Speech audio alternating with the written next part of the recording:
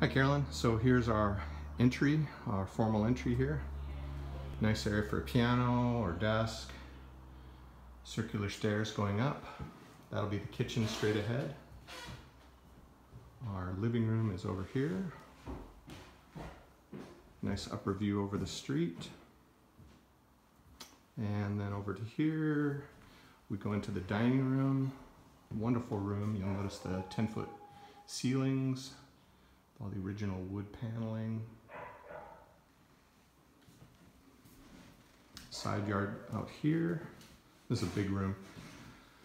Over to here, a little office or study.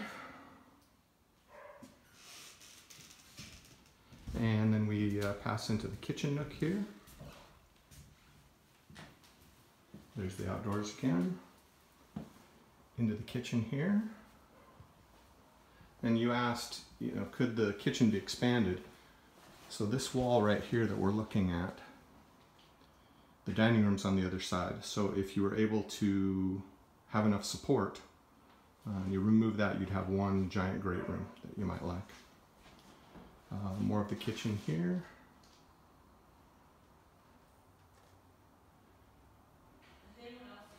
And we have a little uh, half bath in here.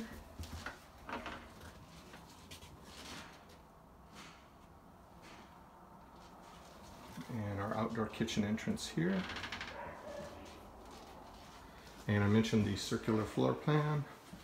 We walk back through the kitchen, left into the dining room, or straight ahead into the entry. And that's our main floor.